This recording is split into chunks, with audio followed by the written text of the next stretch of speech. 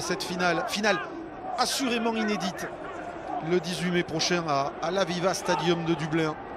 On reverra les meilleurs morceaux, les meilleurs moments de ce Clermont-Munster.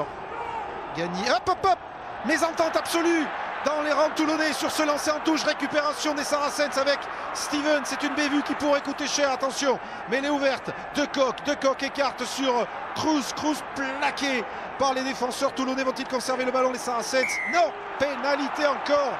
Toulon domine les phases de ruck, les phases de contest.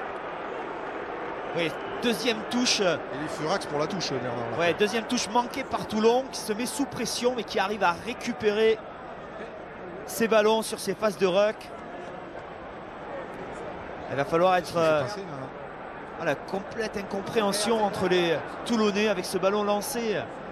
Mais Sheridan ne regardez pas. Et oui, il était touché.